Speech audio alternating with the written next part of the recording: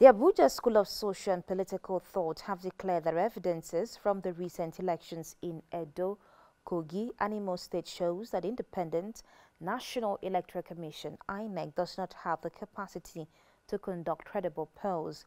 The director Sam Amadi said this during the presentation of a National Action Plan for Electoral Reforms at the second memorial lecture for late activist Dare Ario in Abuja. The conduct of elections is one of the requirements for civil rule, but remained a huge challenge to democratic governance in Nigeria even after the 2022 Electoral Act.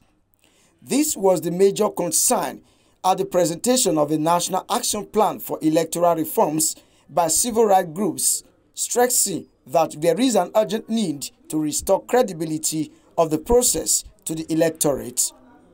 The group wants INEC to be scrapped and replaced with a different body free from political interference. These guys cannot deliver a free and fair election. It's not possible.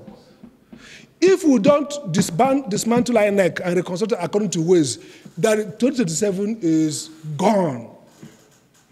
My only worry is that it may go with the country. That's the only concern. It's not about this going. It may go with the country. It may go with democracy. We had a lot of internal meetings with INEC. And the strange thing was the INEC, the current INEC, is still the current one. They were very, very open, telling us their problems. And so, just like Ario, before the 2023 general elections, many of us were not sleeping because we're trying to block the holes. We thought INEC, the persons there, the managers were truthful, and we're working with them, hoping that the vote, voting will count. And so when you look at the voter turnout and disenfranchisement, the last election was 29% that voted. That's the general election. So who is voting and who believes in voting itself is another. The rights activists called for a judicial reforms where politically minded persons are not made judges or decide winners of elections. The most heartbreaking of all our plight in this country is the allegations and counter allegations of judicial compromise and, and corruption. There's no economy that can survive and a, a, a nation where the judiciary is not in, truly independent.